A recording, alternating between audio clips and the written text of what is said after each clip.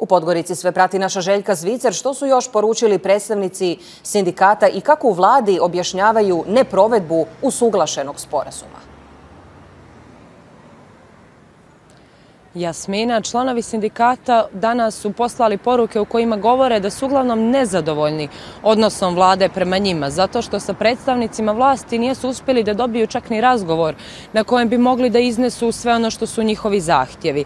Takođe, e, oni kako kažu, okupili su se jer se bore za golu egzistenciju i zato što su razočarani, zato što ni jedno od, od obećanja o povećanju zarada nije ispunjeno.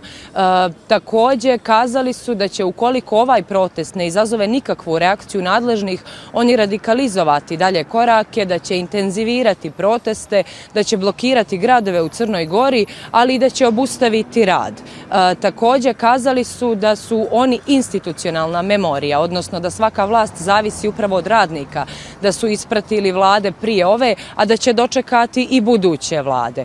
Također, e, što se tiče vlade, sa druge strane, premijer Milojko Spajić Đurić je juče komentarisao zahtjeve i kazao da od povećanja zarada u ovom trenutku nema ništa jer država nema novca.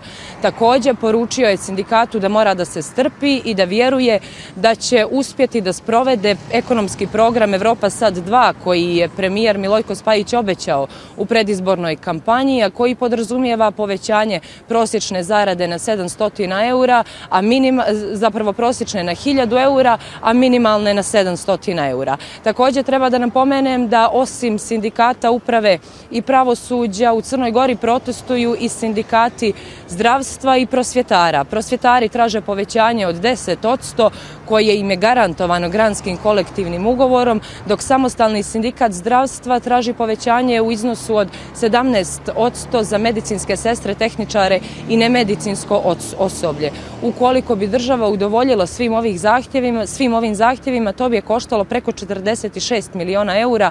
Međutim, kako smo i od samog premijera mogli da čujemo, nije izvjesno da će bilo koji sindikat dobiti to povećanje sada, već će morati da čekaju, a kako smo i danas mogli da čujemo na skupu, ukoliko uh, ukoliko ne dobiju nešto odmah zbog velikog rasta inflacije, kako su kazali, bit će prinuđeni da stupe u štrajk. Hvala na svim informacijama iz Podgorice. Bila je to naša Željka Zvicer.